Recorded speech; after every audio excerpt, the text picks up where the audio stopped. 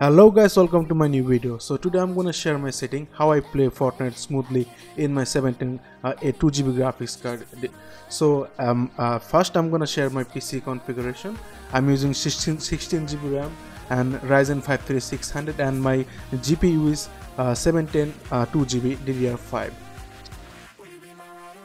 so as you can see i'm using 1280 by 720p as my resolution because it's only a 2gb graphics card. It cannot handle 1080p gaming. So after that vsync is obviously off and you should li uh, limit your frame at 60 fps because you cannot get more than 60 fps in this graphics card.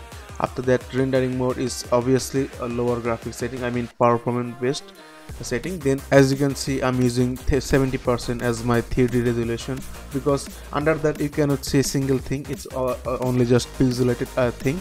And if, uh, if you use more than 70 you will get frame drop. That's it. So that's why i prefer 70 percent. Then everything is as low as possible uh, as the distance is near the texture is low everything is as low as possible.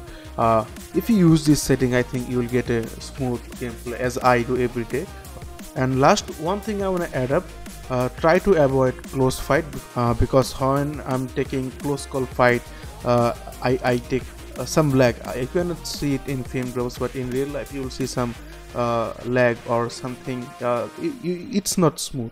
When you are in close fight. So try to avoid that you can also use MSI Afterburner to get a stable FPS. First you have to open MSI Afterburner then you will get a uh, uh, icon over here. It's called RivaTuner, sorry, RivaTuner. Uh, if you don't find that, go over here. You will also find it over here, RivaTuner. So after opening that, uh, you will see application detection level. Set it to high and here you can see frame limit and set it around uh, 6, 60 FPS but if your PC can handle 60 FPS you can also try 31 FPS don't use 30 FPS because 31 and 30 FPS has a huge difference. So 31 will be better.